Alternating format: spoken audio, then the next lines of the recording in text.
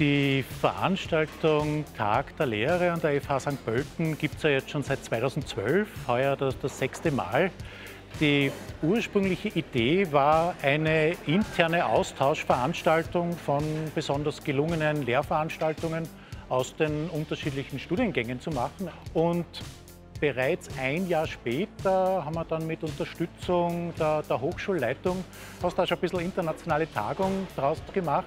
Und das hat sich jetzt über die Jahre fortgesetzt, eben bis heuer äh, 2017, wo wir 150 Leute hier haben, davon zwei Drittel extern, teilweise auch international. Das macht uns schon einigermaßen stolz.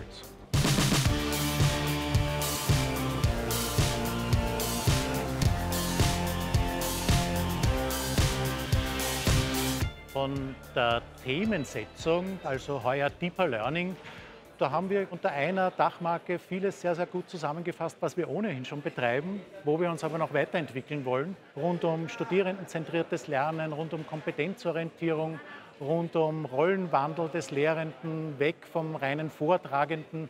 Also alle diese 21st Century Skills. Und ich denke, wir, wir haben auch mit dem Professor Meyer wirklich einen sehr, sehr kompetenten Keynote-Speaker für den, für den Aufriss des Themas gefunden in diesem Jahr. Ich äh, hatte im letzten Semester, in den letzten zwei Jahren, äh, das große Glück, dass wir ein Forschungskolleg gegründet haben, das sich speziell mit dem Thema Deeper Learning auseinandersetzt.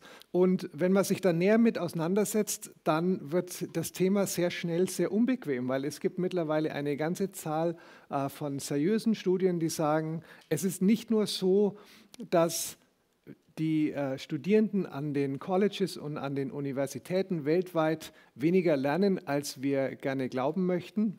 In manchen Teilbereichen ist bei Studierenden sogar eine Abnahme der Kompetenzen zu verzeichnen. Und man muss sich dann die Frage stellen, wie kann es sein, dass an solch renommierten äh, Unis wie in Harvard äh, Leute sich offen hinstellen und sagen, also irgendwas läuft grundsätzlich falsch. Der Begriff ist relativ äh, gut definiert. Es stammt aus dem Amerikanischen und die verstehen Deeper Learning oder vertieftes Lernen äh, als die Fähigkeit, Dinge, die ich in Kontext A lerne, in Kontext B äh, einzusetzen. Also da geht es um Wissenstransfer. Und was das Besondere an dem Konstrukt ist, dass das eben nur in Kombination mit vertieftem Fachwissen ähm, gelingen kann. Wir glauben also, dass vertieftes Wissen dann stattfindet, wenn Lernende die Chance erhalten, Fachwissen adäquat zu versprachlichen. Das heißt, was wir jetzt machen müssen, ist, dass wir das Handlungspotenzial der Schüler systematisch ausbauen. Ich glaube gar nicht, dass man, den, dass, man den, dass man das so stark absetzen kann von dem, was, was früher war oder traditionell ist, glaube ich nicht, sondern vertieftes Lernen gibt es schon immer, nur haben wir jetzt eben eine viel bessere Vorstellung, wann es passiert. Ja?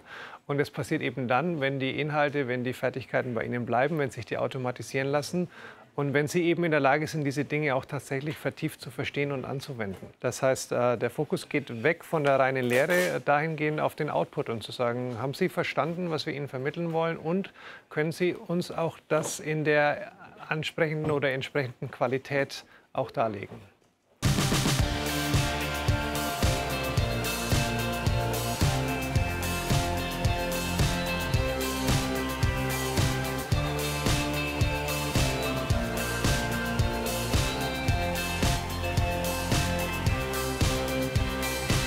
Mein Name ist Daniel Bartschat, ich komme von der Dualen Hochschule Baden-Württemberg in Stuttgart. Und da werden verschiedene interaktive Lehr- und Lernmethoden eingesetzt, unter anderem auch Lego Serious Play. Und das ist genau das, was wir heute mal angeschaut haben in einem kleinen Workshop.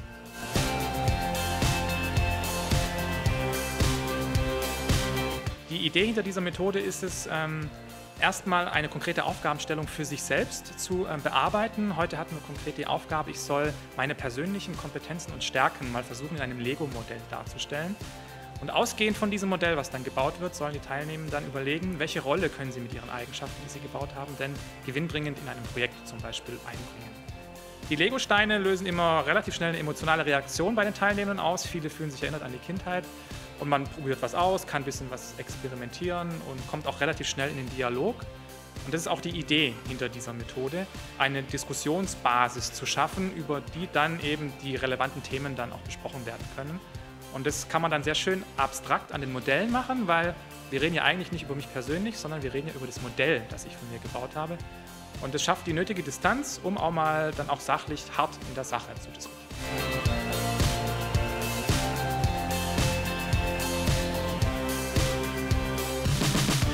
Finde den Ansatz sehr gut hier in St. Pölten, dass man sagt, wir nehmen uns einen Tag im Jahr raus, ganz bewusst, und setzen uns mal mit diesen verschiedenen Aspekten in der Lehre auseinander und gucken vielleicht auch, da müssen wir uns weiterentwickeln und auch die Reflexionsfähigkeit der Studierenden zu adressieren, weil das kommt, glaube ich, immer nur ein bisschen zu kurz. Man kann viel theoretisch, inhaltlich lernen. Die Frage ist, was kann ich dann umsetzen ja, und was kann ich transferieren in meinen Alltag. Und deswegen finde ich das einen wichtigen Tag hier und ich komme auch jedes Jahr gerne her.